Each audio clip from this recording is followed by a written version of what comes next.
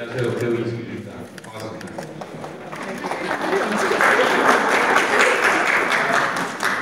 저는 방금 소개해 주신 대로 얼마 전에 방송된 미스터 션션이라는 드라마에서 고종 황제 역을 맡아 연기했었고요.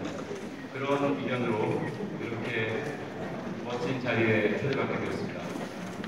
초대해 주신 국립 현대미술관 관계자분들께 감사드립니다. 아,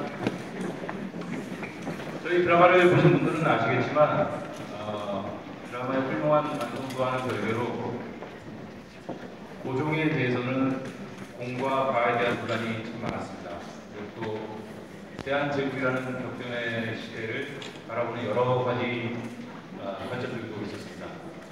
그런 의미에서 음, 이번 전시회는 고종과 아, 그 시대를 다시 한번 조명하고 반추할 수 있는 아주 뜻깊은 시간이 되리라 생각합니다. 저는 미술에 대해 잘 모릅니다. 무식할 정도로 모릅니다.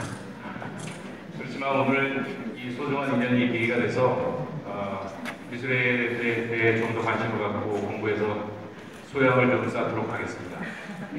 특히 국립현대미술관 전시회는 빼놓지 않고 꼭 보도록 노력하겠습니다. 스스로 국립현대미술관의 발전과 이번 대한제국 이체기를 꿈꾸다 전에 성공을 기원합니다. 감사합니다.